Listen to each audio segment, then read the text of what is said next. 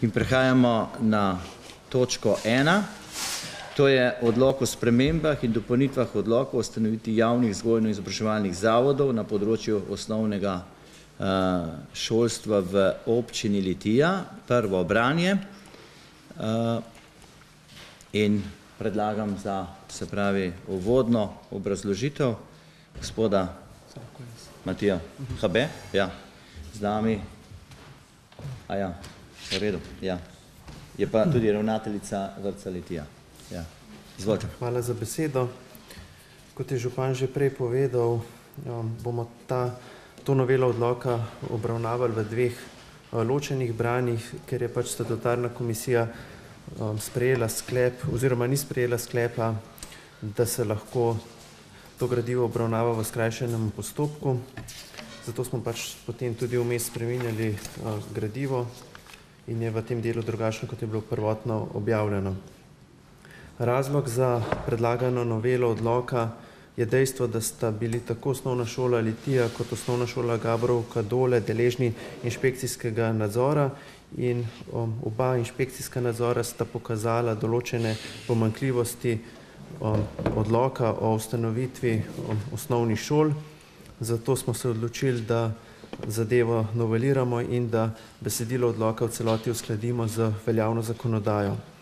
Spremembe niso vsebinsko zelo pomembne, gre namreč bolj za um, popravke, kot so, da se um, pri um, enoti vrte Čebelica navedejo vse tri lokacije, kjer ta enota deluje, potem, da se črta na vseh mestih, kjer je um, omenjena podružnična osnovna šola Konšica, uh, ker je pač ne obstaja več potem se preimenujejo podružnične šole, tako da se pač ne uporablja več beseda osnovna, ampak samo še um, šola, to pomeni podružnična šola, ne več podružnična osnovna šola.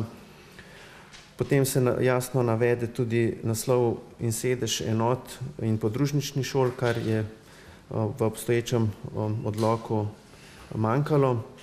Potem se na vseh mestih besedo statut nadomesti z besedo pravila, Um, nadalje se um, popravijo nekatere, nekatere nedoslednosti, recimo v 32. členu se na mesto 60 dni zapiše 8 dni, saj zakon o organizaciji in financiranju vzgojne izobraževanja jasno določa um, ta rok, v katerem mora um, minister imenovati vršilca dožnosti ravnatelja. Mi smo imeli tukaj naveden napačen rok. Potem se za enoti vrtec Čebelica in eno, enoto vrtec Pohek Povšnik uh, doda nov organ in sicer zgojiteljski zbor, kar prav tako zahteva preomenjeni zakon, to pomeni ZOFI. In za konec mogoče še to, da smo spremenili določbo, kjer je bilo prvotno oziroma je v obstoječem odloku navedeno, da so um, pravila oziroma statut obvezen akt, ki ga mora imeti osnovna šola sprejetega, ker to noben zakon ne zahteva in so tudi ravnatelji dali vedeti, da um, te podrobnejši akti oziroma akti, ki bolj podrobno normirajo področje delovanja osnovnih šol, niso um, nujno potrebni, zato puščamo tu odprto možno šoli, da se sama odloči, ali potrebuje uh, statut oziroma pravila po novem ali ne. Potem pa še um, um, mogoče še omemba Um, popravka vezano na uh, imenovanje um, predstavnikov delavcev v svetu zavoda. Bili smo upozorjeni strani ravnatelja osnovne šole Gabruka dole, da je potrebno uh, določbo v odloku, kjer je pisalo, da se predstavnike delavcev zavoda voli izmed zaposlenih strokovnih delavcev korigirati na način, da se beseda strokovni uh, črta, ker um, zakon, že preomenjeni, um, pušča um, možnost vsem delavcem zavoda, da kandidirajo v svet zavoda, ne, zgolj strokovnim delavcem, zato smo to besedo um, črtali. Um, mogoče bi sam še za konec omenil, da smo predlog novele odloka dali na voljo oziroma smo ga objavili na spletni strani občine in ta objava je visela 30 dni, se pozivam vsej zainteresirani javnosti, da podamo rebitne pripombe. Eh, pripomb, razen preomenjene od gospoda ravnatelja uh, Hostnika, nismo prejeli tako da se nadejamo, no, da je tale predlog pripravljen uh, v redu in ga zato tudi vas um, prosimo za, um, za to, da potrdite um, predlagano novelo odloka v prvem branju. Hvala lepa. Hvala lepa gospodu Habetu za uvodno obrazložitev. Medtem so se nam pridružila še ravnatelja osnovne šole Gabrovka in pa osnovne šole Litija, ki jih lepo pozdravljam. Eh, seveda eh, so predlog odloka obravnavala pristojna delovna telesa. Želijo poročevalci besedo? Ne. Odpiram razpravo svetnikov. Jo ni. Pa jo zaključujem. Prehajamo na odločanje in sprejem naslednjega sklepa. Občinski svet občine Tija spreme predloženi odlok o spremembah in dopolnitvah odloka o ustanoviti javnih vzgojno-izobraževalnih zavodov na področju osnovnega šolstva v občini Tija v prvem branju. Ugotavljam navzočnost. Ena, dva, tri, štiri, pet, šest, sedem, osem, devet, deset, enajst, dvanajst, trinajst, štirinajst, petnajst, šestnajst, sedemnajst, osemnajst, devetnajst, dvajset navzočih. Kdo je za predlog sklepa? Prosim, če dvigne zelen karton. Ena, dva, tri, štiri, pet, šest, sedem, osem, devet, deset, enajst, dvanajst, trinajst, štirinajst, petnajst, šestnajst, sedemnajst, osemnajst, devetnajst, dvajset za. Je kdo proti? Nihče. Tajvan, da z dvajsetimi glasovi za in nobenim proti je predlog v prvem branju odloka sprejet. Prehajamo na drugo točko. To je odlok o spremembi meje občine Litija in Šmartno pri Litiji, predlog za prvo branje. In bi prosil za uvodno predstavitev gospoda Matija Habeta. Izvolite. Hvala lepa. Pred vami je odlok o spremembi meje občin Litija in Šmartno pri Litiji, predlog za prvo branje. Razlog za to, da je pred vami to gradivo, je pobuda dveh družin in sicer iz Lakar in Povše za spremembo meje med občinama Litija in Šmartno pri Litiji. Ta poziv oziroma to pobudo, predlog so omenjeni predlagatelji uložili pri občini Šmartno pri Litiji, ki je tudi nosilni predlagatelj tega gradiva. Že na tem mestu lahko omenim, da bosta občinska sveta obeh občin morala sprejeti v dveh branjih identično besedilo odloka, da se bo ta sprememba meje, kot je predlagana, lahko uveljavila. Občina Šmartno bo v prvem branju tole, ta, ta odlok obravnavala na tudi oktobrski seji 18. oktobra. Zakon, ki ureja postopke za spremembo mej med občinami oziroma predvsem med naselji, je zakon o določanju območij ter o imenovanju in označevanju naselij, ulic in stavb. Ta zakon določa, da je potrebno, predno se spreminjajo meje med občinama oziroma naselji, opraviti predhodno posvetovanje. Za konkretni primer je bilo ugotovljeno, da tako rekoč vsi prebivalci tega območja, ki se bo zdaj preneslo v sosedno občino, soglašajo s to spremembo, saj so vsi tudi podali to pobudo za spremembo, tako da posebno predhodno posvetovanje ni bilo izvedeno. Je pa tudi že splošno znano dejstvo, da si te pobudniki že, že več let prizadevajo, da bi, da bi njihova zemljišča in stavbe prešle iz občine Litija oziroma predvsem iz naselja Nova Gora in Ljubeš v Lazih v novo naselje Cerovica, saj je, gravitirajo bolj v tisti del in imajo tudi težave pri svoji poslovni dejavnosti zaradi um, teže, um, tudi v navigacijah so baje težave, da um, stranke pridejo na pravi naslov. Predlog je, da se parcele, ki so naštete v odloku, prenesejo iz naselja Ljubeš v Lazih in naselja Nova Gora v novo naselje Cerovica in da se hkrati s tem prenosom oziroma spremembo mej med temi naselji spremeni tudi meja med občino Litija in občino Šmartno pri Litiji. Skupna površina parcel, ki se prenaša, je malo več kot 2300 kvadratnih metrov.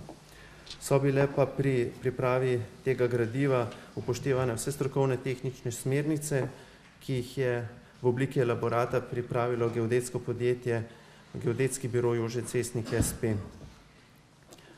Kot rečeno, se bo, bosta oba občinska sveta obeh občin morala sprejeti odlok v obeh branjih in po sprejetju tega odloka v obeh branjih v enakem besedilu bo župan občine Šmartno pri Litiji v treh dneh po objavi odloka v uradnem listu poslal oziroma obvestil geodetsko upravo o tem, da je bil odlok objavljen in nato bo geodetska uprava po uradni dolžnosti evidentirala te spremembe mej v registru prostorskih enot.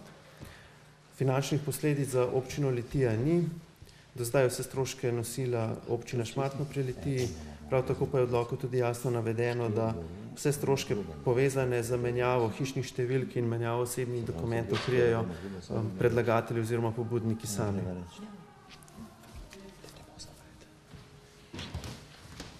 Hvala lepa gospodu Matiji Habetu za uvodno obrazložitev. Zdaj mogoče samo en stavek, preden odprem razpravo. Ta družina Povše je že enih osem let, kar je dala ta uvodno pobudo za spremembo meja med občinami. Jaz mislim, da gre za eno funkcionalno, zaokroženo rešitev in mislim, da bi bilo tudi v tem konkretnem primeru smiselno, da to občina ugodi. Res so določene, bi rekel, tudi finančne manjše posledice, se pravi manjši prihodek v občinski proračun, temu ne smemo zatiskati oči, ne, vsaj pri povprečnini in pri stavbnem zemljišču. Vendar jaz mislim, da se moramo pri teh vprašanjih, življenjskih vprašanjih ravnati ne po špansko, ampak po moji oceni po katalonsko. Tako da zdaj pa odpiram razpravo svetnikov. Ni? V redu. Ja, gospod Hautman, izvolite.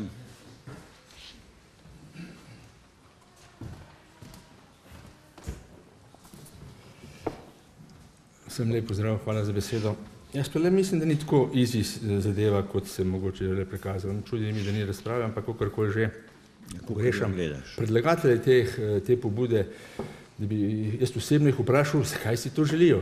Mene razlaga župana toliko ne zanima, kakor me zanima te tri družine, če sem prav razumel, ki se rade izselile, ki bi rade šle v sosednjo občino, da mi povejo na tem mestu.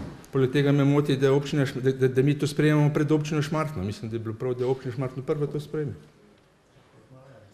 Župan, ti sam dobro veš verjetno ali pa tudi ne, da bi to, taka pobuda v srednjem veku, veš, kaj bi naredili s takimi pobudniki, ne, tako malo šali, malo. Izgubi dva tisoč tristo kvadratov nekih prihodkov, pa jaz mislim, ni tako enostavno. Pa nimaš proti, niti ne vem ozadja pravo, zakaj gre to stran. In in in se mi zdi, da je to malo preveč easy gledano zmanjšati in dati soglasje k zmanjšanju občin. Jaz ne vem, sem edini, ki tako razmišljam, kaj? Vam je vseeno to? Meni ni, no, in me to malo moti, no. Hvala. Se strinjam, gospod Hautman, da ste lokalpatriot, kar se tega tiče, zagotovo, ampak jaz mislim, da moramo pri določitvi meja občin, ne, ali pa državnih meja ali kakorkoli ali drugih, bi rekel, mejah katerihkoli, bi rekel, inštitucij, so mnogokrat tudi tako imenovane neživljenjske rešitve. Saj poznamo dejansko pred pragom se je na neki način zaključila meja občinska, Jablanška dolina in cela dolina gor pa vemo, da sega prav do Pustovega mlina, ne, in jaz mislim, da bojo potem se lahko speljali še tudi drugi postopki, ki so potrebni za to, da bomo pač omogočili eno geografsko zaokroženost, se pravi tako te doline in predvsem, bi rekel, tudi funkcioniranja ljudi, kar se tega tiče in tako. In jaz mislim, da pri teh zadevah ne sme biti ključna zadeva tistih par tisoč evrov, ampak bolj mora biti ključna zadeva, da ljudem omogočimo eno, bi rekel, zadovoljstvo, kje želijo ustvarjati in živeti. Gospod Kozlevčar, sem zasledil, da je še želel razpravo. Dobro, hvala. Prehajamo potem na odločanje in sprejem naslednjega sklepa. Občinski svet Občine Litija sprejme odlok o spremembi meje občin Litija in Šmartno pri Litiji v prvem branju. Ugotavljam navzočnost. 1, 2, 3, 4, 5, 6, 7, 8, 9, 10, 11, 12, 13, 14, 15, 16, 17, 18, 19, 20, 21 navzočih. Kdo je za, prosim, če dvigne zelen karton. 1, 2, 3, tudi ne, 20 za. Je kdo proti? Ne. Ugotavljam, da z 20 glasovi za in nobenim proti je predlog odloka v prvem branju sprejet. In tako smo zaključili drugo točko. Prehajamo na tretjo točko, to je javno-zasebno partnerstvo. Projekt javno-zasebnega partnerstva za vrdec Najdi Hojca v Litiji, koncesijski akt za izvedbo projekta Najdi Hojca Litija, prvo branje, eh, pa bi kar prosil gospoda Igorja Parkel za uvodno predstavitev. Z nami pa je tudi ravnateljica vrtca Litija, gospa Jana Plaska. Ja. Uh, izvolite. Lep pozdrav vsem skupaj. Zdaj pri tej točki imate v gradivu dva sklepa. Prvi se glasi na to, da gre za ugotavljanje javnega interesa za izgradno novega vrca v obliki pogodnega koncesijskega javno-zasebnega partnerstva. V drugem pa pač sam akt, ki je podlaga za izvedbo razpisa in za nadaljevanje postopkov izbire takšnega zasebnika. Zdaj nekaj uvoda, pa je kljub temu treba še vseeno napraviti. Namreč, ko govorimo o vrcu Najdi Hojca, je to v Litiji zdaj ustal edin objekt, uh, ki je skoraj že 40 let star in že tiste svoje čase, bi rekel, ko ko je služil dobro svojemu namenu, dal skozi. Tako da vse te modernizacije in prenove, ki so te javne objekte zajele, bodi si šole, bodi si vrca, se na tem objektu praktično niso dale narediti, niti ne energetska sanacija, ki smo jo poskušali pred leti oziroma zdaj, ko je ta tudi na nov razpis. Uh, bi sicer v istih prostorih lahko nekaj obnovili, pa nekaj izboljšali, ne bi pa mogli uh, izboljšati funkcionalnosti prostorov oziroma povečati teh površin in pa teh spremljajočih prostorov, ki takrat leta 76-77, ko se je začelo to graditi, še niso bili niti nepotrebni. Zdaj so pa pač za izvajanje uh, vrčevskih programov obvezni. Zdaj, naslednji moment, ki uh, ki določa potem tudi, kako se občina odloča k nekim investicijam, je seveda predvsem um, njeno finančno stanje. Torej, gre za to, koliko imamo investicij, koliko jih imamo že v teku, kolikšno je vsek kreditiranja, zadolževanja in tam med gradivom imate tudi neko prilogo, v kateri je pač napisana, so napisana sredstva, koliko lahko občina nekako pridobi sredstvo še za neko novo investicijo, če se zadolži. Če pa seveda se ne, potem bi morali odstaviti ali pa od, odmakniti neke druge projekte, ki so bodi si v teku ali pa tudi že v proračunu sprejeti in uvrščeni v ta naš program.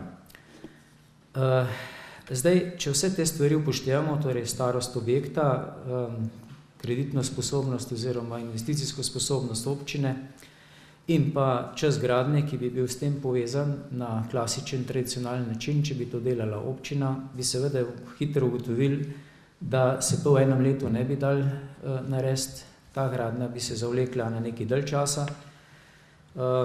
Nočemo seveda špekulirati, koliko več, naredili smo DIP za dve leti in potem se stroške zraven, ki so, ki so tukaj pač povezani, Eh, in prišli do tega, da bi se ta investicija iz tistih normiranih cen, ki jih priznava Ministrstvo za šolstvo pri neki gradni novih objektov, sicer za šole, ne za vrtce, ker pač vrtce ne dela država, ampak so uh, v skrbi občine.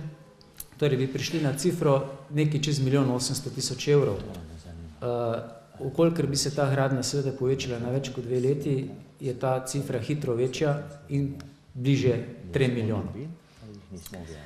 Zaradi tega se je občina v skladu z zakonom o javno-zasebnem partnerstvu in pravilnikih, ki določajo, oziroma predpisih, ki določajo to vrstno eh, programe in sodelovanje z zasebniki, odločila, da po zgledu nekaterih drugih občin, ki so tukaj tudi navedene, pogleda nekaj takih projektov, ki so v okviru javnega zasebnega partnerstva uspeli oziroma se na ta način že tudi izvajajo. Tako smo objavili promotorski razpis za, za uh, pridobitev pač zainteresiranosti ponudb javnega sektorja in dobili uh, letos pomlad kar dve ustrezni vlogi za, za, tako, za tak interes, to se pravi, da bi uh, gradili v liki javno-zasebnega partnerstva. Zdaj, uh, glede na to, da smo preverili tudi ta dva ponudnika, kaj sta že naredila in kako to funkcionira, so se občine, v katerih se to, se to dogaja, pač pozitivno izrazile, ravno tako tudi naš vrtec šel te objekte in te, te, to funkcioniranje teh, teh, te, tega dela, tega programa tukaj pogledati in bil nasplošno zadovoljen. Mislim, da bo več lahko povedala sama ravnateljica vrca.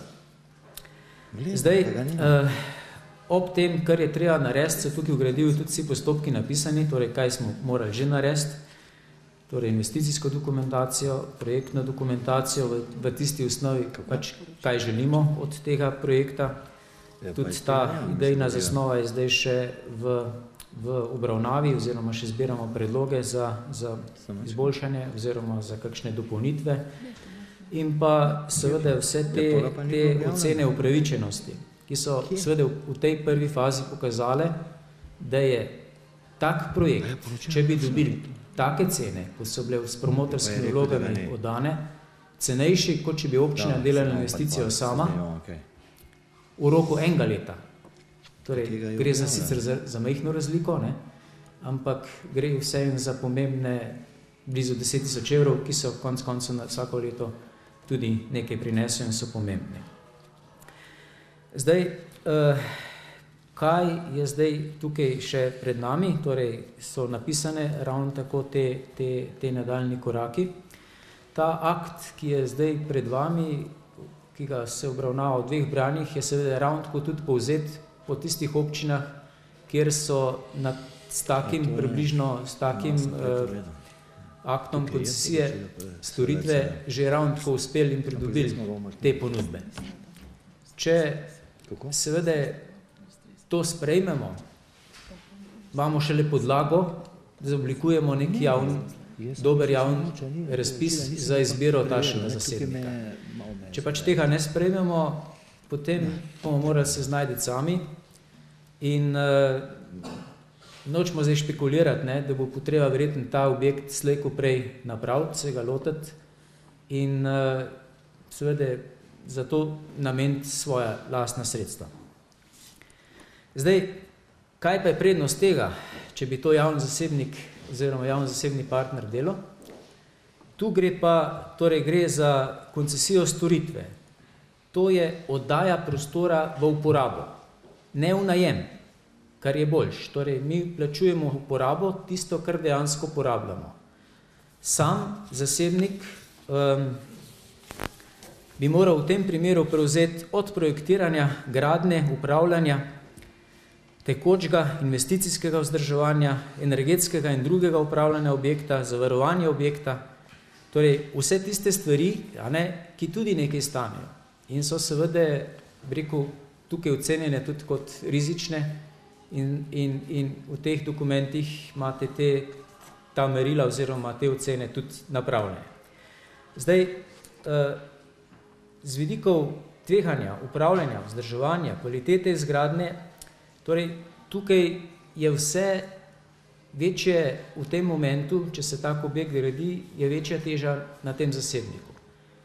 Občina ima tukaj bistveno manj. Torej, občina zagotavlja sredstva za, za sprotno uporabo, za tiste uporabnike, ki jih bojo pač noter koristili. Dejansko gre v pretežni meri samo za vrtec. V sobotah, nedeljah, ko ni od programa vrčevskega, je možno ta, ta objekt uh, dati uporabo tudi za kakšne podobne namene, kjer so pač otroci z nekimi programi noter prisotni, bodi si kulturni, športni in podobni.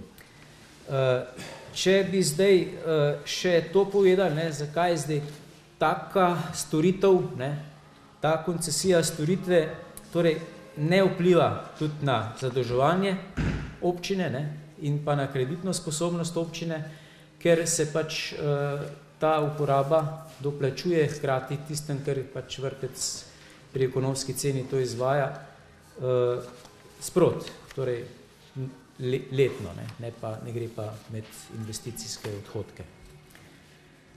Toliko vam je zapovedati, ne bi zdaj bral vseh ostalih zadev, ki so zraven, mogoče kasneje v vprašanjih, pa ne vem, še ta drugi del, uh, torej tizga, kar mogoče še rab pojasniti, kdo, kako se to izvaja, ne, torej ne gre za zasebni vrtec, ampak gre za hišo, ki bo 15 let bo dejana za vrtec, ne, vrčevsko vzgojo, programe vrtca bo še naprej javni zavod izvajal in še naprej bo te cene vrtcev tukaj potrjevali ne, na občinskem svetu. Tako da tukaj ni drugih skrbi.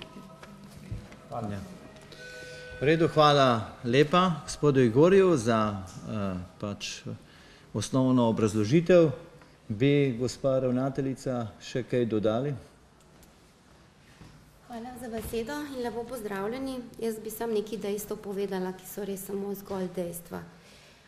Popraviti moram gospoda Igorja, letnik 71 je ta vrtec Najdihojca, se pravi, prizitek je bil pa malo kasneje narejen. Se pravi, stavba bo stara 47 let, življenjska doba, ko se je gradila projektantka pred leti, nam je povedala, da je bilo za 30 let. Če kdo še dvomi, da je ta investicija nujna, naj se samo sprehodi po Rozmanovem trgu. Mene kot ravnateljco me počasi postaja sram. Igor je rekel, slej, ko prej bo treba vrtec graditi. Ne vem, kdaj bo ta slej, ampak jaz se bojim, da tri leta ne bo zdržal v taki obliki, kot je zdaj. Tolk sam, kar se pač nujnosti investicije tiče. Kako se bo investicija investirala, jaz kot laik težko sodem, pa težko tehnico vagam, kaj je boljše, kaj ni boljše. Vem pa, da je to treba narediti takoj in jaz, kot sem imela pač priliko videti oziroma te vrce, ki so bile grajeni na tem javno-zasebnem partnerstvu in kolikor sem se pogovarjala z ravnateljicami tega vrca, imajo dobre izkušnje. Kako bo to pri nas, kdo bo investitor, ne vem. Tisto, kar imamo izkušnje do zdaj, je bilo pač dobro in ne vem, zakaj bi dvomili, da tega ne bi bilo tudi pri nas. Um, vse skozi me pa malo jezi, glede na to, da stroka vse čas poudarja, da vrtec rabimo, da so tu zadej neke politične igrice, ko se tehta, da samo da se nasprotuje. Ko boste odločali o tem aktu, ki kot ga jaz razumem, je komi pogoj, da damo razpis ven, mislite na te starše pa na te otroke, ki bodo ostali brez varstva, brez prostora, brez ne vem, uh, predšolske vzgoje. In ja, vrtec je pač javni vrtec, ustanoviteljica je občina, občina je dolžna zagotoviti prostore. Mi bomo izvajali program, kjerkoli ga bomo pač izvajali, če bo to v prostorih uh, na pol podrtih, mi, mi ga bomo še vedno kvalitetno izvajali. Ampak te starši in te otroci si zaslužijo prostore, kot je pač primerno in kot pri, predvideva tudi zakonodaja. Uh, Če bi še kdo kaj vprašal, z veseljem povem, vsekakor se mi pa zdi, da zdaj zapiramo vrata že takoj na začetku, še predno bomo sploh dali razpis, pa da bomo sploh videli, kakšne so te cifre. Imam pa izkušnje, oziroma smo se pogovarjali tudi z ravnateljicami drugih vrtcev, ki je gradijo občine. Samo za primer, jaz nisem verjela, sem mogla dvakrat klicati, Ljubljana gradi osemoddelčni vrtec za 8 milijonov evrov. Uh, toliko, ne vem, se te številke sploh upamo na glas povedati, ampak um, dejstvo je, da mi vrtec rabimo. Ni več želja, rabimo nujno in to zdaj takoj. Ko tako boste odločali, mislite na te otroke, pa na mlade družine, ki so pač brez, ki bodo ostali na cesti. Hvala lepa, gospe ravnateljici, za to breko posredovanje mnenja in stališča tudi vrca Litija do omenjene investicije. Eh, Sveda, zagotovo, eh, preden dam besedo eh, razpravljavcem in poročevalcem, mogoče samo dva stavka. Tako kot je bil že danes vsaj dvakrat povedan o nujnosti te investicije, je zagotovo potrebno povedati sledeče. Pred nami je šele koncesijski akt, se pravi, ki omogoča, se pravi, postopek javnega Eh, se pravi eh, preverbe javnega interesa oziroma izbire koncesionarja. Zagotovo bo občina tukaj v nadaljni fazi storila vse, da pride do največje optimizacije, se pravi, se pravi tako na eni strani zaves, ki jih bo moral koncesionar izpolniti in na drugi strani tudi optimizacije samega projekta. Preden bi šel razpis ven, mora biti jasno, bi rekel, bi rekel, obdelana dokumentacija, najmanj v fazi idejnega projekta in popolnoma obdelana, se pravi tudi dokumentacija, kar se tiče notranje ureditve samega vrtca. Zato, da je čim manj manevrskega prostora možno, bi rekel, omogočati potem v nadaljni fazi, se pravi projektiranja. Zagotovo bomo vpeljali tudi sistem tako imenovanega super nadzora pri sami izvedbi, se pravi investicije. Ampak kar je ključno, pred izbiro izvajalca bomo si pridržali pravico, da se, da lahko tudi ne izberemo nobenega, glede tudi na ponujene, se pravi, zneske. Zagotovo pa bi bilo zelo zmotno in slabo, če bi v tej fazi, se pravi, preden sploh speljemo postopek do faze, bi rekel, pridobitve tistih končnih resnih ponudb, ne, že vrgli puško v koruzo. Tako da ocenjujem, da je zagotovo potrebno, bi rekel, te korake do tam postoriti, potem pa se odločiti in ugotoviti na racionalnost, katera opcija je boljša. Zagotovo, če nam uspe dobiti optimalno, se pravi, ponudbo koncesionarja izbrati za, se pravi, racionalno izvedbo tega modela, potem je to smiselno in to marsikatera občina tudi v Sloveniji počne.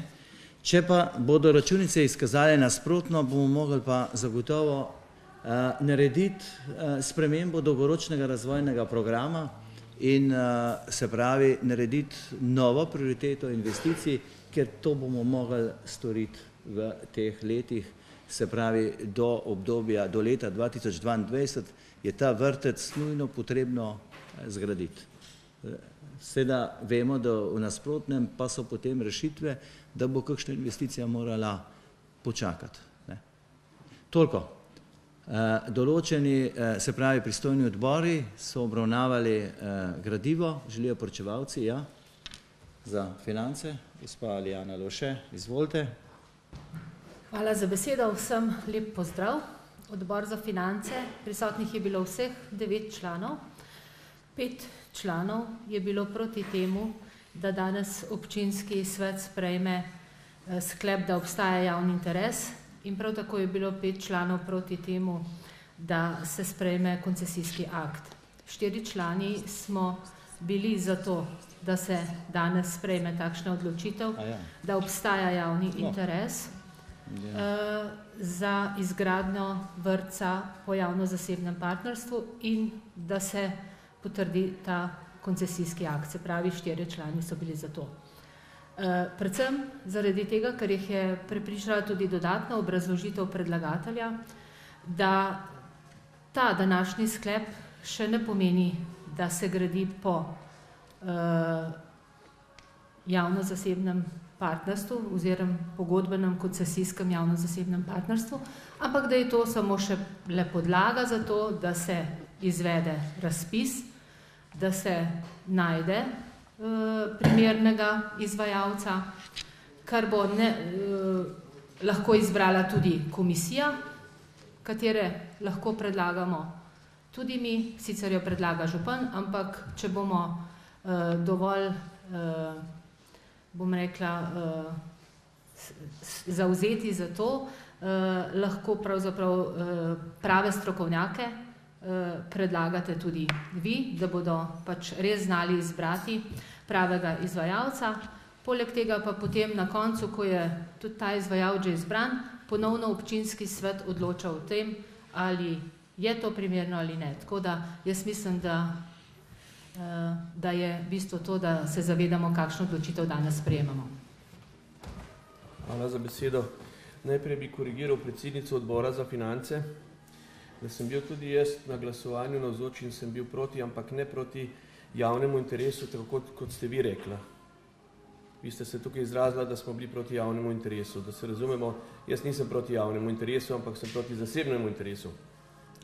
Kar se tiče vrca, pa bom tako rekel, zdaj nas kar pred dejstvo postavljate, tudi gospa direktorca, mudi se čez noč, že včeraj, pred včerajšnjem in tako naprej.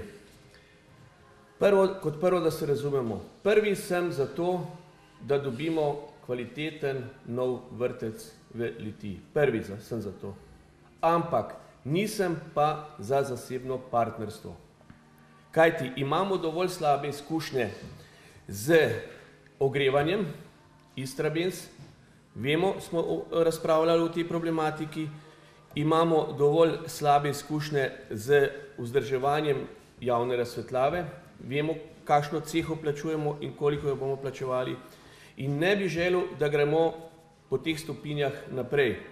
Navedli ste, da sicer funkcionirajo eh, pač vrci po Sloveniji, ne vem, Škofelovka, Slovengrad, ne vem, ki je še.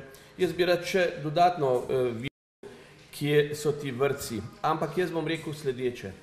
Vkolikor ena občina ni v stanju financirati v šole, v vrce, v svoji občini sama, potem smo zelo daleč finančno zavoženi. Kar je tudi gospod Parkeli povedal, občina nima denarja.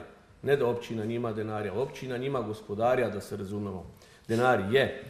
Jaz sem prvi za vrtec, ampak brez javno-zasebnega partnerstva. Občina naj zgradi vrtec. Kaj ti?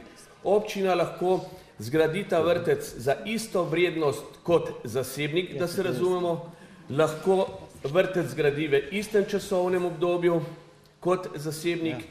in se, seveda zasebnik bo temeljil na donosnosti, na dobičku, na izseljevanju nad občino, glede cen in tako naprej. Ne vem, kakšne standarde bomo imeli in imeli bomo en kup težav. Jaz se strijam z gospodom Županom, bo pa treba dolgoročne razvojne programe pogledati, pa kakšnega mogoče premestiti, prenesti v naslednje obdobje, vrtec pa dajmo narediti, samo ga dajmo z občinskim denarjem, pa dajmo poskušati, ne vem, tukaj sem tudi zato, da se zadolžimo, ker nobena zasebna firma ne bo dobila kredita pod temi pogoji, kot bi ga občina sicer dobila, če bi dobro poslovala, da se razumemo. In na koncu nas bo to stalo sigurno 10% več, kot pa če bi sami gradili.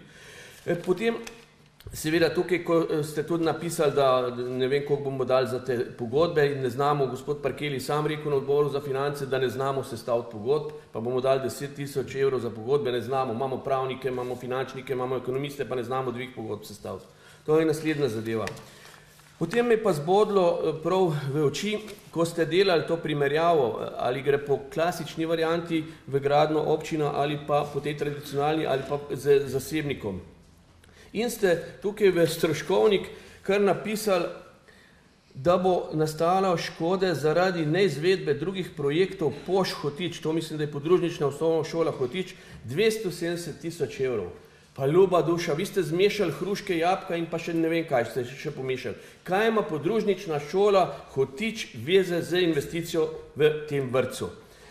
E, to je naslednja zadeva, ki, ki ne pije, enostavno ne pije vode. Potem rečemo, da bomo še 300 km cest dal noter, ki jih ne bomo mogli vzdrževati, da je to tudi posledično škoda zaradi te investicije.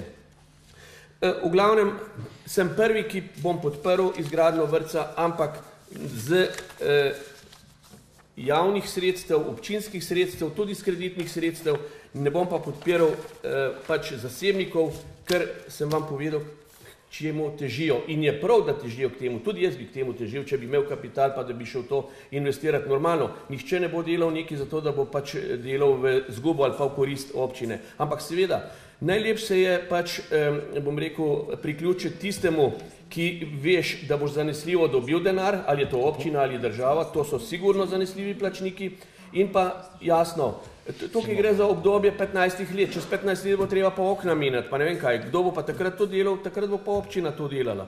Tako da jaz mislim, da je treba to resnično orenk premisliti, pa potem sprejeti odločitev, ne pa prehitevati nekaj, kar na vrat na nos. Hvala lepa. Hvala za besedo, lep pozdrav vsem.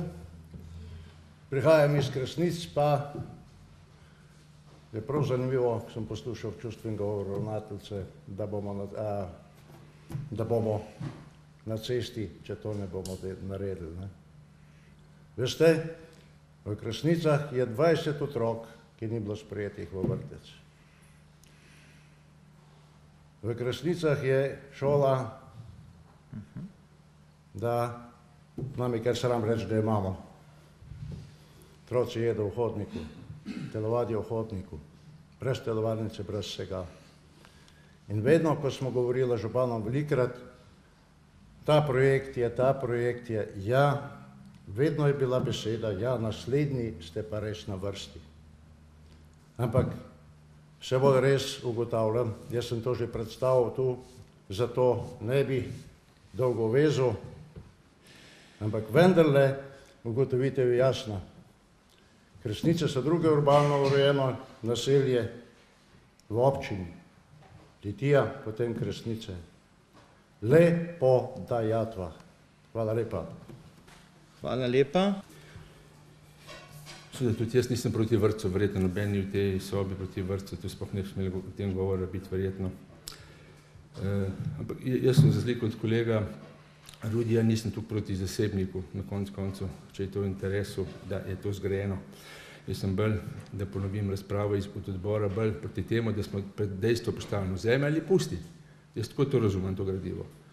Če bi na današnji dan več variant, kot sem izpostavil, na istem mestu zasebnikom v lastni režiji, na drugem mestu na ježi zasebnikom lastni režiji, bi verjetno mrski lažji odločitev sprejel, pa podprl že danes to, to zadevo.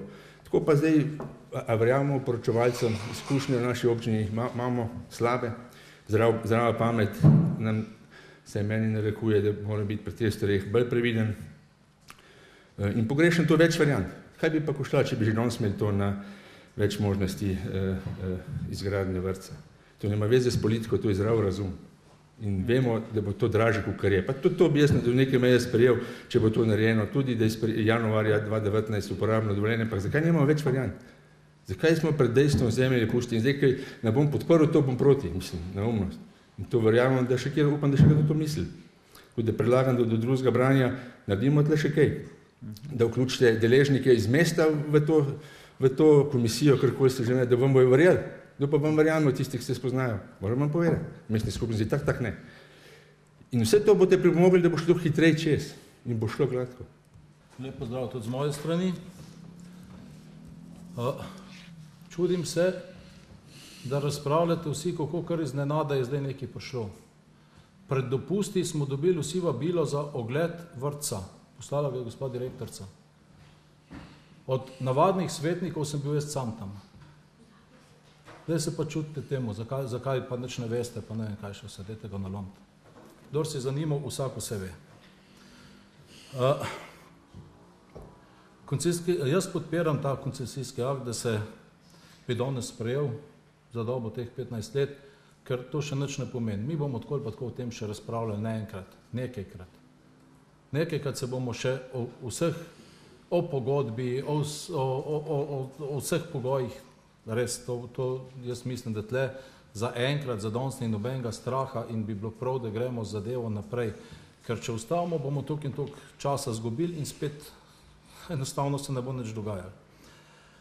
Zdaj, kar se tiče vrtcev, ne pa koliko smo, koliko smo mi do otrok pa do vrtcev, ne najlažji se na starih ljudeh pa na otrokih, to se najlažji, dobiš na grbo, ne pa se pa odloči. Ne. Ampak tale sestav svetnikov tukaj je v teh dobrih treh letih kar nekaj otrok, bom rekel, tako rešil z vrtcem, kar nekaj vrtcev naredil, kar nekaj obnovil. Tako da, kar se vrtcev tiče, v tem mandatu nismo bili tako slabi. Ne? Zdaj, če bi še kakšno, kakšno uh, češenco na tortico dal, bi bilo pa še toliko lepše. Uh, dokumentacija se, jaz mislim, se lahko začne pripravljati. Dokumentacija ni se dela, ni se pripravlja to ni kakšen takšen strošek, mi se bomo hmalo spet dobili, vsak bo svoje mnenje povedal, pa bomo videli, kako bi šli naprej. Uh, se strinjam z Rudijem, da je precej slabih izkušenj s tem, tem uh, javno-zasebnim partnerstvom. Ne? Res je treba biti pazljiv pri teh pogodbah, res je treba paziti, kaj počnemo, res mora biti zadeva tako narejena, da bomo na koncu vsi zadovoljni. Pa tudi res je, Tudi to je res, da kdor bo prišel, noben ne bo investiral za to, da bo zgubo delal. To je jasna zadeva, to je čist jasna stvar. Treba je samo videti, a smo mi sposobni namesto onega zaslužiti, ali je on bolj noter v poslu, v teh stvareh, ali je bolj zraven, da, za, za, da, da lažje zasluži, da mu lažje kaj ostane. Stop, od, od točke A do točke B neki pripeljati, je velika razlika. Ne? Ali bo pelal en močen, ali bo pen švoh pelal. Zdaj se, se, se moramo samo odločiti, na kateri strani smo. Uh, zdaj, jaz bi najraje tudi videl, da bi se to, ta zadeva financirala kar, kar iz občinskega proračuna. Ampak tiste štiri milijončke, pet milijonov, ko ostane za takele stvari, za, vso, za, za vas financiranje takle, jaz se bojim, da ne bo dost. Uh, zdaj, takoj, takoj je prišel kolega in je rekel, mi v presnicah to rabimo. Pa še mrske, se strinjam, še mrske, še mrske rabijo. Ampak mi, če se zmenimo, pa ta vrtec zdaj tle naredimo, potem moramo vedeti, da damo ta denar sem in bo treba eno leto počakati, druge ne bo. Ne? Za, vse, za vse pa ne bo, za vse ne more biti. In še potem bi skoraj malo repliciral, kar se tiče lokacije. Jaz mislim, da lokacij je več in bi se tudi strinjal s kakšno drugo. Ampak kolikor začnemo razpravljati zdaj o lokacijah, tega vrca ne bo. Mandati bojo šli, tega vrca ne bo. Ko kar začnemo zadevo premikati, pa dam kolegu Dušanu prav, ampak bo treba potem tudi prevzeti odgovornost, zakaj tega vrtca ne bo. Ko sem si pa ogledal ta vrtec, ker sem se sprehodil po njemu, takrat, ko je bil za to čas, sem pa vedel, da je na tem, v tem vrtcu treba nekaj narediti. Ta vrtec je bil narejen za 30 let, mi ga zdaj naredimo pa za 50 let, ker so druge tehnologije in se ga da narediti, pa tudi ne s takimi groznimi stroški, da to ne bi mogli narediti. Tuk mejhen, pa tudi šloh, pa tudi nismo. Hvala. Lep pozdrav vsem. Uh, tudi mene je malo presenetilo, že ne presenetilo, bom rekla, ta uh, prikaz, koliko je zdaj naenkrat to nujno. Vprašam vas, koliko od vas je pa bilo v šoli v Hotiču, ki je stara čez sto let? A se zavedamo, da pri nas se pouk izvaja v jedilnici, v neprimernih prostorih. Da ne govorimo o telovadnici, o vseh teh zadevah. Pa nisem nič proti temu, da se mora tudi, mislim, da je potreba za vrtec. Absolutno podpiram, mislim, verjamem, da je, ampak mislim, sem pa proti temu, da se premikajo prioritete. Šola v Hotiču, vrtec se predstavlja iz mandata v mandat, iz leta v leto in absolutno sem proti, da se še da bi spet šlo v bistvu v spremembo dolgoročnih planov. Zato iz tega razloga tudi bolj podpiram javno-zasebno partnerstvo, ker mislim, da s tem, eh, s tem bi vse omogočili, da bi te projekti, ki so v planih, se pričeli izvajati. Eh, nad tem javno-zasebnim partnerstvom, tako kot smo rekli že prej, treba bo gledati, da kako se bo, izbral, kako se bo izvajal nadzor pa da se bi tudi omogočilo, da se tudi ta vrtec zgradi. Ampak absolutno sem pa proti, da se spreminja srednjeročni plan oziroma da se kakorkoli spet šole v Hotiču in vrtec premakne tam. Hvala. Hvala za besedo. Ja, vrtec je nujen, kot smo že slišali. Uh, jaz sem ne bi oziroma bi upozoril tiste svetnike, ki so, je bil že v tej lokaciji nekaj govora, Uh, lokacija mislim, da se ne sme spreminjati, zaradi tega, ker se v preteklih mandatih zabetonirali, da bo tukaj uh, šola in da bo tukaj vrtec in se ne sme razmišljati o drugih lokacijah, uh, naprimer, naprimer tam, ker je bil tam narečen, da bo ne bi bilo na ježi in tako naprej. Uh, podpiram, da je lokacija tukaj, ker je pač tako bilo v preteklih mandatih odločen. Uh, naslednja zadeva bi se mogoče tudi z nekaterimi predhodniki strinjal, da bi bilo mogoče fajn, da bi se pripravlja še kakšne usporedne modeli, bodi si um, kakšen drugačen način financiranja, da bi mogoče imeli malo večji pregled, kako se bodo te stvari dogajale pa izvajale. Uh, in res je, en let nazaj mislim, da smo poslušali od uh, uh, vodje vrca uh, glede tega, da je kritično stanje, vem, da je kritično stanje, ker sem bil tudi sam uh, v tem vrcu, um, uh, se, se sprehodil skozi, so tesneni prostori, uh, zadeve nekako um, pač ja, težijo k temu, da se jih obnovi oziroma da se naredi uh, nova zadeva. Ampak ja. mislim, da smo pred podobno zgodbo, kot sem jo pred štirimi leti govoril oziroma uh, še nekaj časa nazaj, ko se je začela delati litijska osnovna šola. isto je plesem bila v, v objektu, isto se vse podiran, ampak stara sodnija še vedno stoji, pa zdaj ni nobene plesni noter v narekovajih, uh, imamo novo šolo, vse super, jaz hočem sem to zadevo povedati, da je treba tudi uh, objekte nekako redno, ne samo pač prvih pet let, ampak nekako je treba namenjati za vse objekte, katere zgradimo, se je potrebno zavedati, da kot gospodar moraš objekt tudi vzdrževati. In ne samo prvih pet let, ki je nov, ampak dejansko do tistega, ki se nekako namenimo, da je nov, da bomo zgradili novega. In jaz mislim, da moramo dajati v prihodnosti tudi velik podarek na samo vzdrževanje objektov, isto vse celotne infrastrukture, ki jo imamo, kot v bistvu vseh objektov, ne da pol se srečujemo s tem, da je pa na fasada na, vr na, vrcu, na vrcu pač v katastrofalnem stanju, da zamaka noter in take stvari. Ampak konc koncev domače zamaka, pač boš cego zamenil ali pa boš nekaj poklepil. Normalno pa, da smo, da sem tudi za nov vrtec na isti lokaciji, bi bil pa fajn, da nekako v tem času, ki ga imamo na voljo, da v bistvu pridobimo še dodatne informacije, da se bomo znali bolj prav odločiti oziroma da bomo konc koncev za naše občane, za naše otroke naredili en en dober bivalno okolje uh, in pa konc koncev, da bo za nas čim cenej. Bi pa sem eno zadevo vprašal, notor sem mal, mali stroke, je notor omenjena uh, 30-minutna požarna odpornost. Uh, če ste slišali tisto, kar pripravljate gradivo, 30-minutna požarna odpornost, bi predlagal, da glede na to, da je to takšen objekt, da, da te notor v pogoj vsaj minimalno 60-minutna požarna odpornost. No, tako da, hvala. Spoštovani, spoštovani, jaz mislim, da skoraj ni nobenega, ko bi rekel, da vrtca ne rabimo. Ne? Mislim pa, da smo slišali, da vrtce rabijo tudi drugi po občini. Me veseli, da se je začel pogovor o vrtcu najdi hojca. Mogoče zaradi drugoletnih pač številk, neke volitve se obljubljajo, pač to čisto na ključe, se ne misli, da je to kakšna zgodba. Ne? Ampak jaz mislim, da prvo bi bilo treba razmisliti, kako bomo ta um, vrtec nadgradili, to pomeni mogoče celo dokupili kakšno zemljišče, poprašali, um, glede na to zdaj, kar smo dobili, kar vse skupaj koncesijo plus uh, arhitekturno osnovo, vse naenkrat, vse naenkrat, vse naenkrat, vse naenkrat. V javnem zasebnem partnerstvu jaz osebno tudi nimam kakšnih uh, pozitivnih mnen, tako da bi rekel, da bi šel to stresočo roko v tak projekt. Me veseli, da je to zdaj, ko preko neko dvofazen postopek, čeprav je v tej obliki zelo delikatno, če razmišljam malo naprej. Um, rečeno je bilo, da rečemo občina Litija bi to naredila v najkrajšem času za milijon osemsto, če gre graditi tako, kot smo navajeni, bi bilo to tri milijone, če pa bo to um, zasebni partner izgradil, mora biti pa menj kot milijon osemsto, ker mora še on nekaj imeti profita, ne? to sem zdaj povzel, pa sem si zapisal številke. Pa če se zdaj vzamemo to, kar je bilo rečeno, jaz mislim, da je vse skupaj tako nekako nesigurno, kaj bomo zdaj sprejeli. Ne? Jaz mislim, da bo še eno branje, pa se bomo še na odborih pogovarjali. Ampak če odbor za finance nekaj ni bil, ni bil dosti informiran, pa verjemite mi, da so imeli daljšo razpravo, kot je imamo mi na odboru, pa niso bili informirani, pa so bili proti.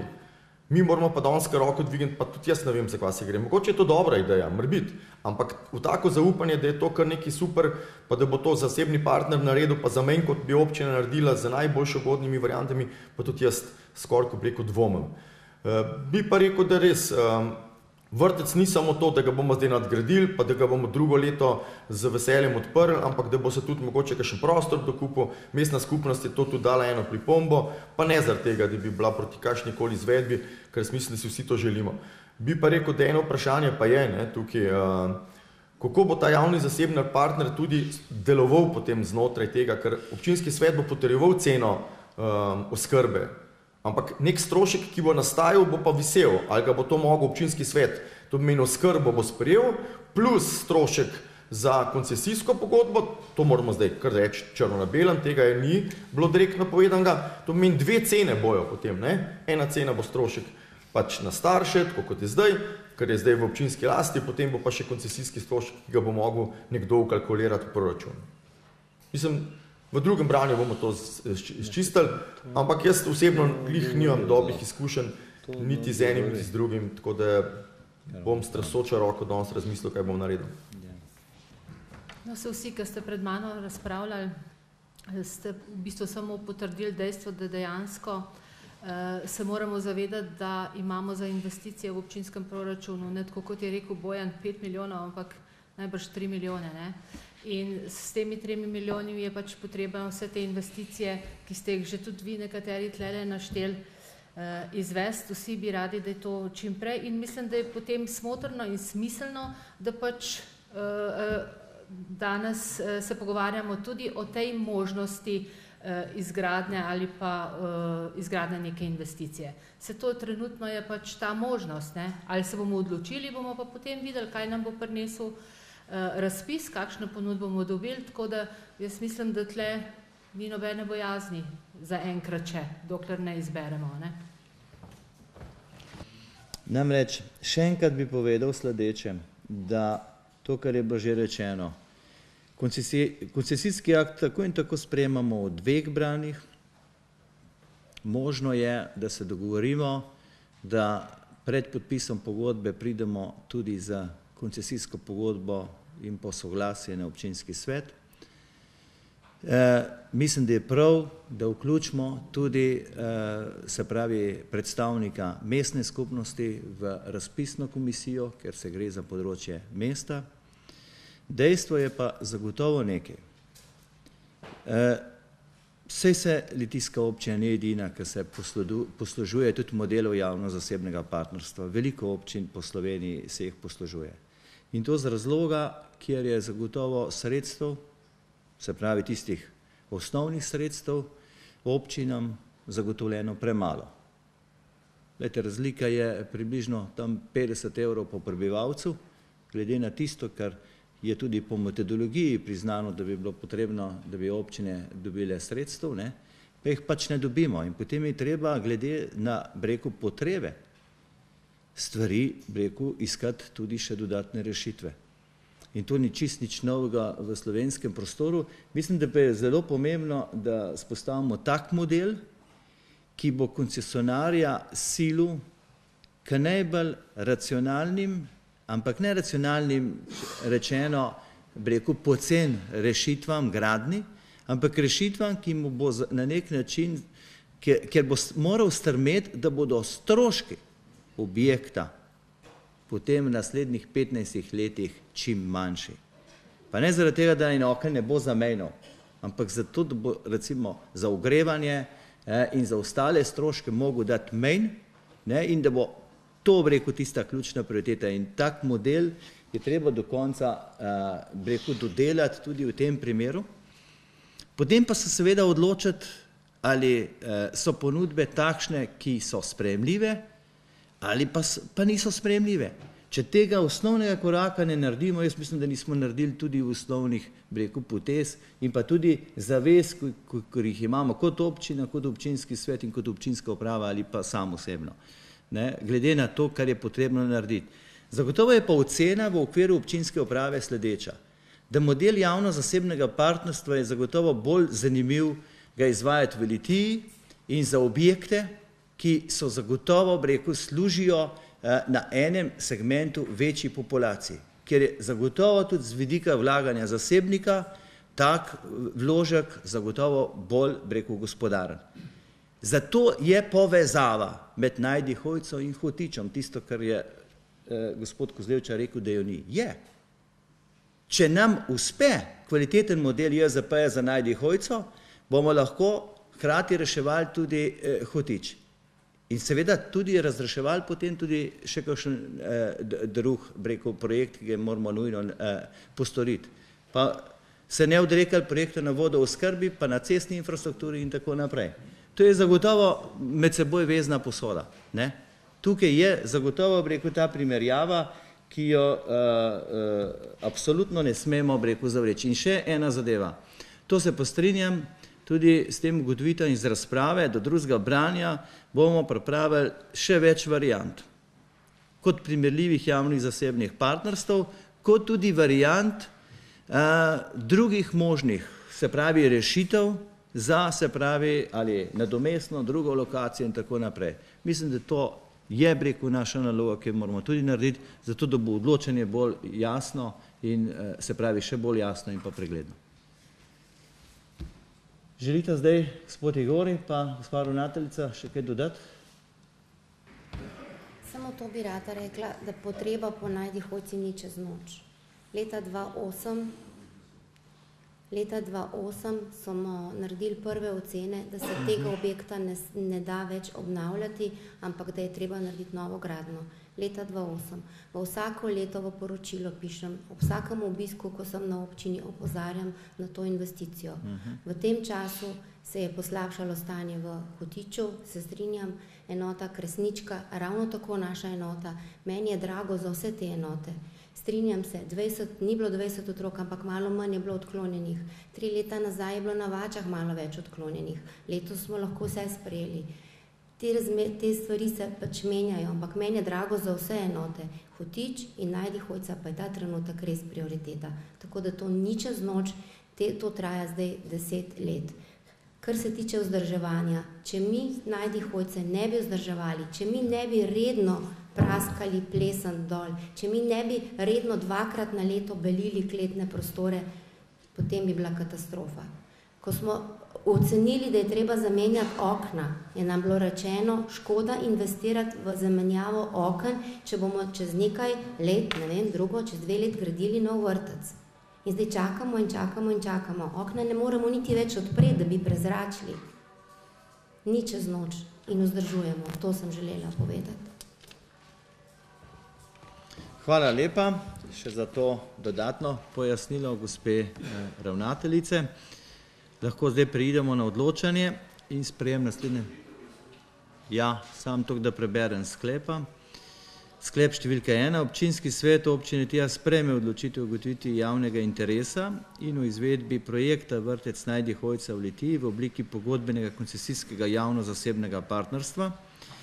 In drugi sklep, občinski svet občine Tija spreme koncesijski akt za izvedbo projekta Vrtec Najdi Hojca v Litiji v prvem branju. Ja, gospod Kozlevčar, izvolite. Nisem dobil odgovora, kakšno povezavo ima eh, podružnična osnovna šola Hotič kot strošek v tej investiciji 270 tisoč, če bi šla občina na klasičen eh, način graditi. Zdaj pa v bran direktorci. Ja, se e, jaz sem prvi mandat svetnik v obdobju 2014-2018. Gospa direktorca pa pravi, da je že od 2008 upozarjala. Mene ne, pa mogoče bi jaz tudi pomagal, če bi lahko, če bi bil zraven, ampak nekateri ste pa več čas zraven. Pa povejte, kaj ste naredili od 2008 do 2017, koliko let je to? 9 let. To pomeni 9 let. In Nisem proti vrcu, da še enkrat povdarjam, nisem pa za zasebno partnerstvo. Poiščimo cenejšo in boljšo in manj problematično in manj škodljivo in manj bo glava bolila tudi na koncu. Zato ne bom pač eh, dvignil roke za tak predlagan sklep, sem pa za vrtec in za javni interes, zagotovitev javnega interesa, ne pa privatnega. Hvala. Dobro, hvala lepa za obrazložitev glasu. Še kakšna obrazložitev? Ne, potem preidemo na odločanje. Zdaj sprašujem, imamo dva predloga sklepov, lahko glasujemo v paketu ali posebej. Kdo nasprotuje, da glasujemo o paketu dveh sklepih? Ne? Ugotavljam navzočnost. Ena, dva, tri, štiri, pet, šest, sedem, osem, devet, deset, enajst, dvanajst, trinajst, štirinajst, petnajst, šestnajst, sedemnajst, osemnajst, devetnajst, dvajset, enaindvajset. 21 navzočih svetnikov. Kdo je za oba dva predloga sklepov? Prosim, če dvigne zelen karton. 1, 2, 3, 4, 5, 6, 7, 8, 9, 10, 11, 12, 13 za. Je kdo proti? 1, 2. Ugotavljam, da s 13 glasovi za in dvema proti sta predloga sklepov sprejeta. In tako tudi zaključujem to točko. Eh, dnevnega reda in prehajamo na naslednjo, to je četrta točka dnevnega reda in uh, sicer soglasje k ceni socialno-varstvene storitve pomoč družini na domu v letu 2017. Med nami tudi direktorca doma, ti si gospa Vida Lukač, jo lepo pozdravljam in vabim k predstavitvi predloga. Izvolite. Hvala za besedo in lep pozdrav vsem. Mi predlagamo eh, povišanje subvencije. Zakaj? Vsi veste, da je v letošnjem avgustu, konec avgusta, bil sklenjen aneks kolektivni pogodbi za javni sektor, kjer so se plače delavcem dvignile od ena do tri plačne razrede. To pri pomoči na domu pomeni za neposredno socialno skrbo vsem delavkam dva plačna razreda.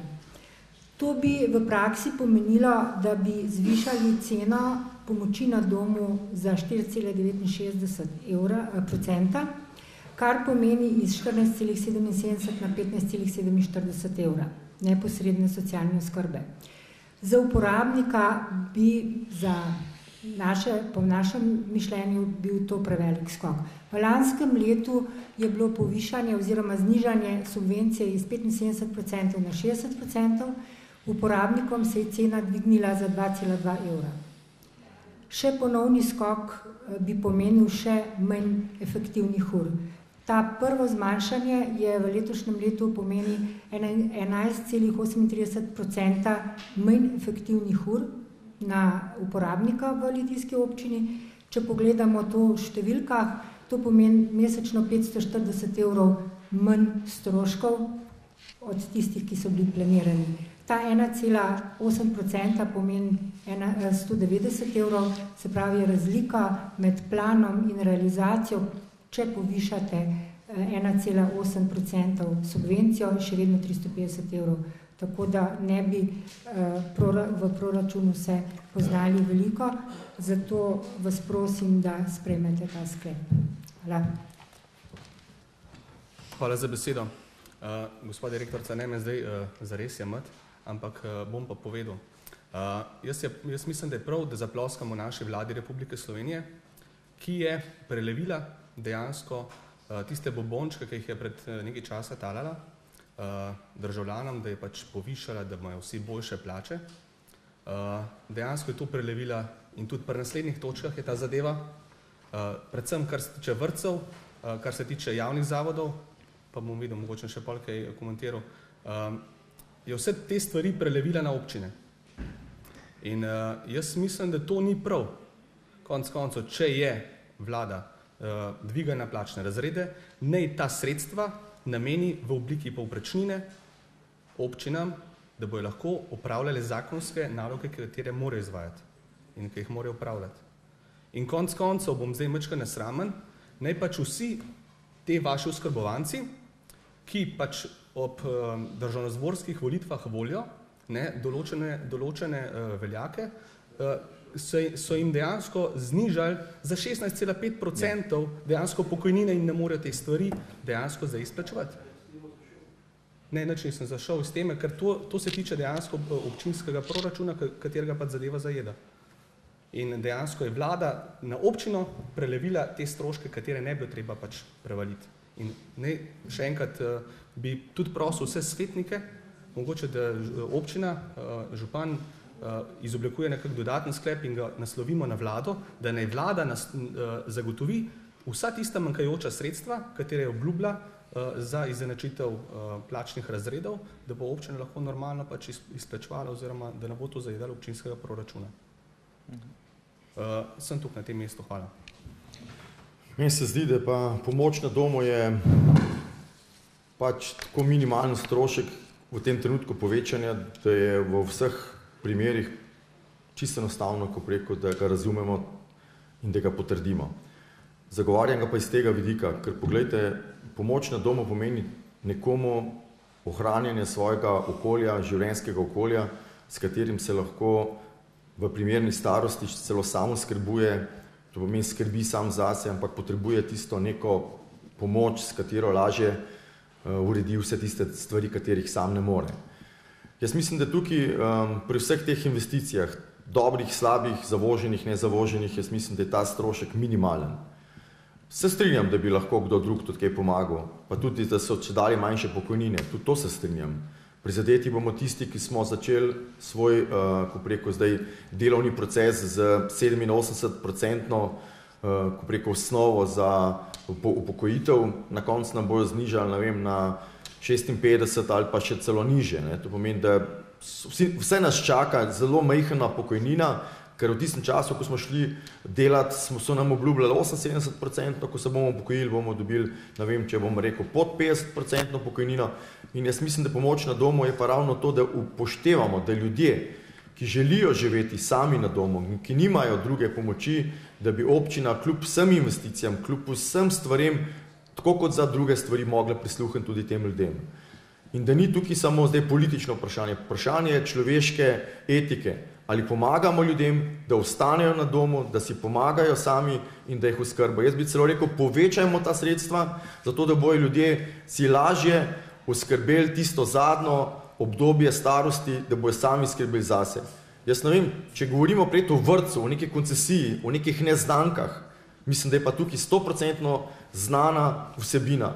Če bomo dali ljudem več denarja za pomoč na domu v, ko preko upokojencem, starejšim, Jaz mislim, da bo življenjski standard s tem, vsaj glede na to, da se cela populacija stara, sigurno kvalitetnejši, tako da podpiram povišanje in tudi vnaprej želim, da občina sledi tem trendom, da pomaga starostnikom s pomočjo na domu ravno preko subvencije iz strani občinskega proračuna.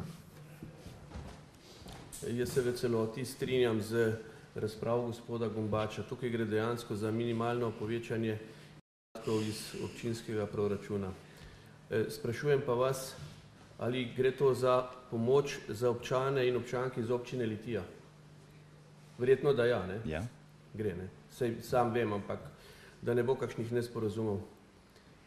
Subvencioniramo najemnino za, v domu starejših za ljudi iz cele Slovenije. Zdaj bomo pa škrtarili pri naših občankah in občanih, ki najbolj potrebujejo pomoč. Mi pa plačujemo za ljudi, ki so v domu iz Maribora, iz Murske sobote, iz Ljubljane, ne vem skje. Svoje ljudi bomo pa zanemarjali. Podpiram, da se ta podražitev potrdi. Hvala lepa. Hvala lepa za besedo. Sicer je dejansko minimalno povišanje tudi iz 60% na 61,80 se ne bo tako poznali pri pr, pr, tako eh, mal uporabnikih ampak eh, kljub temu je treba povedati, kot je že povedal tudi Primoš Kokovica, če država deli predvoljivne bombončke in tega bo čez dali več, naj tudi poskrbi, da bo občina dobila več denarja, ne? da se bo lažje te stvari financiralo. Strinjam se tudi s Sandijem, pa mu ne mislim nič replicirati, eh, dejansko ima prav, eh, penzije vemo, kakšne so, vedno manjše, E, tudi zato je odgovorna država in to predvsem ta politika, predvsem ta, ki trenutno deli te bombončke in povzroča večje stroške občini. Ne?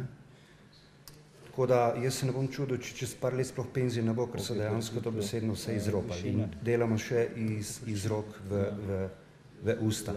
Zelo od mesečne plače ti trgajo za to, da potem penzionist dobi isti mesec penzijo, drugače tudi tega ne bi bilo. Tudi vse privrčevano so po ravbal. Zato se tudi jaz pridružujem eh, Primožu, da se upozori državo, nekateri obča, eh, župani oziroma po Sloveniji je bil celo eh, mal večji revolt, eh, Zagorski župan meni je celo rekel, da bo interpeliral vlado in tako naprej, sicer to so tudi neke populistične zadeve, ampak pustimo to. tako da, Mislim, da je treba upozoriti državo na to, da če pač eh, deli te, te predvoljivne bombone, da ne tudi poskrbi, da bo eh, do občine imele dovolj sredstev, da se bo potem te stvari eh, lahko pokrivalo. Hvala lepa. Uh, jaz bi glede na razpravo, ki je bila v dveh svetnikov, predlagal, da bomo pri naslednji točki Eh, priprav, eh, do naslednje točke, ki je iste zgodbe in iste narave, pripravili predlog sklepa, eh, ki bi šel v obliki apela na vlado Republike Slovenije, s katerim bi pričakovali, da se bodo seveda glede na odpravljanje takovanih kriznih ukrepov odpravili tudi ukrepi do občin. Ne? Mislim, da tukaj treba imeti enake vatle do vseh, ne? to, kar se zdaj ponuja, ne, je razlike 11 evrov na prebivalca. Ne.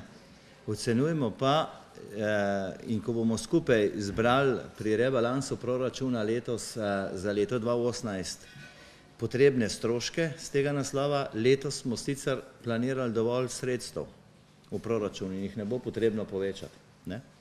In tudi proračun nam dobro kaže. Racionalno poslujemo. Uh, tako da uh, za prihodne leto bomo prišli čist do egzaktnih raču, uh, podatkov, ne, koliko imamo primankljaja, samo na tistem segmentu tako imenovanih eh, predvolilnih bombončkov. Ja, to se pa strinjam. To se pa strinjam. Ne? In jaz mislim, da je dožnost občin, da se seveda za breko tisti ukvir tudi občine moramo breko eh, eh, pač prizadevati. Eh, potem se bomo še večkrat pogovarjali o teh dilemah, ki smo se pri prejšnji točki. Kako zagotoviti določeno potrebno infrastrukturo, ker te škarje se zapirajo, se ne odpirajo. Ne? In to že približno devet let se te škarje zapirajo kontra. Ne? In enkrat se zaprejo. Ne? Tako, eh, pridemo na odločanje in sprejem naslednjega sklepa. Občinski svet sprejme sklep o soglasju k ceni socialno-varstvene storitve pomoč družini na domu v občini Tija, kot jo je predlagal izvajalec storitve Dom Tisi in sicer Ekonomska cena storitve pomoč družini na domu znaša 17,83 evra na uro, na delovni dan 24,1 cent ob nedeljah in v nočnem času 25, ter v nočnem času ter 25,56 evra ob državnih praznikih in dela prostih dnevih. Občija, občina Litija subvencionira ceno storitve pomoč družini na domu in sicer v višini 100% ali 2,36 evra na uro, ki predstavlja stroške vodenja, koordinacije in strokovne priprave dogovorov in višini 61,80 ali 9,56 evra na uro, ki predstavlja stroške neposredne socialne oskrbe uporabnika na delovni dan višini 13,38 evra neposredne socialne oskrbe uporabnika ob nedeljah in v nočnem času ter višini 14,34 evra na uro neposredne socialne oskrbe uporabnika v praznikih in dela prostih dnevih. Cena za uporabnika storitve pomoč družini in domu za upoštevanjem 61,80 odstotka subvencije občine znaša 5,91 evra na uro na delovni dan in 8,27 evra na uro ob nedeljah in v nočnem času ter 8,86 evra na uro ob državnih praznikih in dela prostih dnevih. Ugotavljamo vzočnost? A ja, obrazložitev glasu? Ja, čakamo, izvolite. A tudi gospod Gobač. Hvala za besedo. Ja, če sem se prej premalj jasno izrazil, bom podprl seveda to povišanje, pa tudi na zadnje, kaj še zadeva na vzdolj, Vkokr bojo možnosti v proračunu, da gre zadeva spet na vzgor, tako kot je bila pred leti, normalno treba je pač te stvari podpirati, ampak hotel sem se na tisto drugo plat upozoriti. Hvala. Tako kot sem že pred razpravi povedal, jaz podpiram to povišanje in tudi še enkrat povem, da občinska uprava mora opazovati, da se bo ta povišanje sledilo tako, kot se sledijo stroški. Me pa žalosti, da nekateri svetniki in tudi občinska uprava v razpravi enači problematiko države, to pomeni vlade z pomočjo na domu. Danes ni točka, kakšno imamo vlado. Vlade so bile različne, iz različnih, ko preko strani, ampak danes je pomoč na domu. In če danes razpravljate o politiki vlade, potem naredite novo točko. Vse ste tukaj v opoziciji, pole pa naredite. Danes pomagamo navadnim starostnikom za pomoč na domu. Jaz bom za. To je že presega tudi v okviru obrazložitve glasu, ampak zato sem tudi povedal, gospod Gombač, da bomo to pri naslednji točki, bom pa predlagal ta predlog sklepa, da se ne bo rekel tako poenostovetel, kot se je mogoče v razpravi. Prehajamo na odločanje in sprejem sklepa, ugotavljam navzočnost. Ena, dva, tri, štiri, pet, šest, sedem, osem, deset, enajst, dvanajst, trinajst, štirinajst, petnajst, šestnajst, sedemnajst, osemnajst, devetnajst, dvajset, enaindvajset navzočih svetnikov. Kdo je za predlog sklepa, prosim, če dvigne zelen karton. Ena, dva, soglasno. Enaindvajset za. Hvala lepa.